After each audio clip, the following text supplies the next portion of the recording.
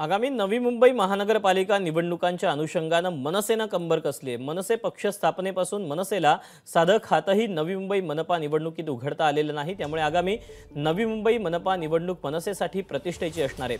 या दृष्टीनंच नवी मुंबई स्थित कोकणवासियांचा मेळावा मनसेतर्फे घेण्यात आला. मनसे नेते बाळा नांदगावकर आणि नितीन सरदेसाई यांच्या प्रमुख उपस्थितीमध्ये हा मेळावा पार पडला. कोकणातील गावागावांमध्ये मनसे पक्ष वाढीसाठी सर्व कार्यकर्त्यांनी प्रयत्न करावेत असं आवाहन या मेळाव्याच्या दरम्यान मनसेच्या नेत्यांनी केलं. निवडणूक मला नेमकी माहिती नाही कधी येईल ती. नाही नाही आम्हाला माहिती नाही कारण आम्ही काही सरकारचा भाग नाही आहोत. जे सरकारमध्ये बसलेले आहेत ते आणि विरोधी पक्षात आहेत. त्यांना माहिती आहे. कधी निवडणुका येणार कधी नाही येणार. आम्हाला काय निवडणुका आल्या तर आम्हाला लढवायचीच आहेत. आणि आम्ही एकला चेलोरे आत्तापर्यंत लढवत आलेलो आहोत पुढेही लढवणार आहोत. आणि त्याच्यामुळे पण तुम्ही त्याचा अर्थ काढू शकता. आता आम्ही कोकणच्यासाठी घेतलेले मेळावे आहेत. पण मी आता आव्हान करताना हेही का केलं की राजसाहेबांना जगाला हेवा वाटेल असा महाराष्ट्र घडवायचा आहे.